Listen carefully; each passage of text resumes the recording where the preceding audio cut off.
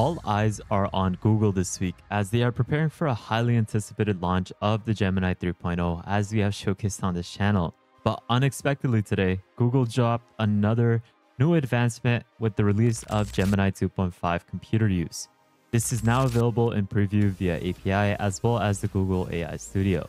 But this new computer use model is a specialized extension of the Gemini 2.5 Pro. It's designed to power AI agents that can interact directly with user interfaces, and I've got to say, it's pretty impressive.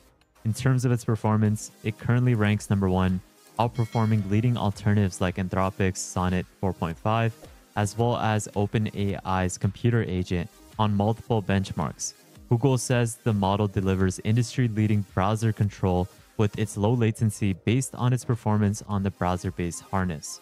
Just take a look at this example where the Gemini 2.5 computer use is able to open up a pet setup store and it is finding different dog breeds within California. It pulls up their details and then it switches to the spa's CRM site where it fills out all the information, adds the pet as a guest, and it books a follow up appointment with the different customer's name. And this is for a particular date, which is October 10th after 8 a.m. using the same treatment they originally requested. So you can see that it is able to follow user instructions pretty precise and it's a lot faster than what we saw previously with the previous version of the computer use. Here is another demo where Gemini 2.5 goes to a sticky note jam website, reads the messy digital board, and identifies all the art club tasks. It understands the user predefined categories and then it drags each sticky note into the right section, which is actually pretty impressive. Gemini 2.5 computer use operates in a continuous agent loop, which you can see over here. It takes in the user request, it screenshots the current interface like how it did before, and then a short history of previous actions will also be used for future generations. So using this context, the model then decides the next UI action, whether that's clicking a button, typing a text, or dragging the element and then it can even ask for user confirmation when it's needed. But once the action is actually executed, the environment sends back an updated screenshot as well as a URL, so it allows the model to analyze the new state and it continues the loop until the task is complete. This cycle enables Gemini to interact with the real web interfaces autonomously, efficiently, and safely. Before we get started, I just want to mention that you should definitely go ahead and subscribe to the World of AI newsletter. I'm constantly posting different newsletters on a weekly basis. So this is where you can easily get up-to-date knowledge about what is happening in the AI space. So definitely go ahead and subscribe as this is completely for free. Now, to access this new Gemini 2.5 computer use, you can definitely do so through the hosted version off of Browserbase. This is where you can access it and test it out over here. It's called Gemini Browser, and you can send in any natural language prompt and you can watch how the AI browses the web. So you can tell it to get the latest crypto prices, send in this prompt, and it will execute it using this new computer use model. Another way to access it is through the Google AI Studio by accessing the API, and then you can use it locally to run different sorts of tasks. Now, I'm just testing it out over here on the Gemini Browserbase before I use it with something like KiloCode. And this is where I'm going to have it first review a pull request. This is one prompt that I'm testing to see how fast it is in terms of taking in multiple instructions. This is where we're having it uh, go over to the GitHub repository for Browserbase, which is called Stagehands, and we're making sure the combination evals and the PR validation are passed. This is where we're trying to see how fast it is in terms of navigating through all the different component libraries within the repo and seeing how fast it is in terms of providing us the result that we are requiring. So it's been one minute and 18 seconds, and so far it is now navigating to the pull request section of Stagehands. Finally, we are at the last step where it has evaluated that was opened.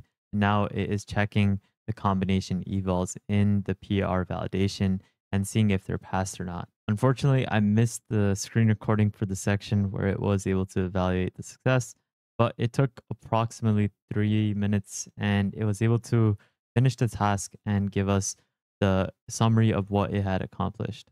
Now, in terms of its input token limit, it has 128K limit, and for its output, it's listed at 64K. Now guys, if you're looking to set this up locally and implement the computer use, you're going to need to make sure you have a couple of dependencies installed beforehand. You're going to need to make sure you have Playwright installed.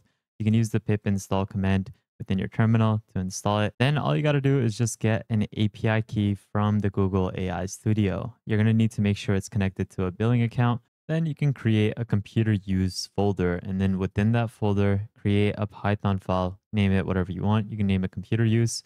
And then when you have opened up VS Code or whatever IDE you have, you can open up that computer use Python file. And now you can set up all the different computer use scripts like sending a request to the model.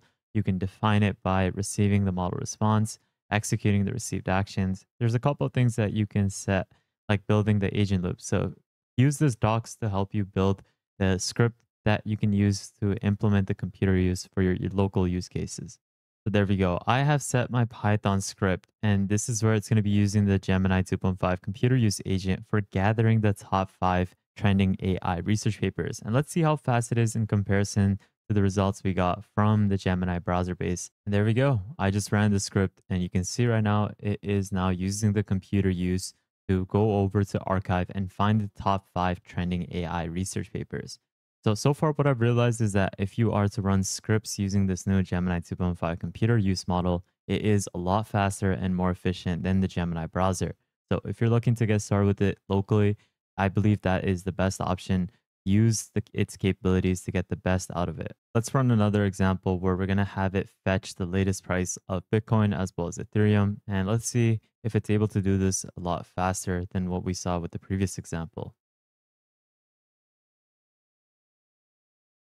So one thing I noticed is that it got the correct price for Bitcoin, but it also searched the price of Ethereum on Google and it didn't seem to find the correct answer I was looking for. So now it's looking for prices off of Coinbase to provide me the correct answer for the price of Ethereum. If you like this video and would love to support the channel, you can consider donating to my channel through the super thanks option below. Or you can consider joining our private Discord where you can access multiple subscriptions to different AI tools for free on a monthly basis, plus daily AI news and exclusive content, plus a lot more. But that's about it guys for today's video on the new Gemini 2.5 computer use model. It's a pretty impressive model that's definitely more efficient and a lot more precise in comparison to the computer use we saw from Anthropic. And it's a lot better than what we saw initially from Gemini with its computer use agent. But let's see how impressive it gets with the Gemini 3.0 model when it's officially released maybe in the next couple of weeks or even this week. But that's basically it guys. I hope you enjoyed today's video and got some sort of value.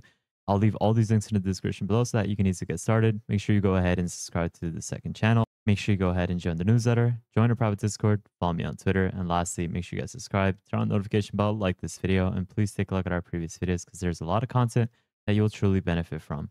But with that thought, guys, have an amazing day, spread positivity, and I'll see you guys fairly shortly. Peace out, fellas.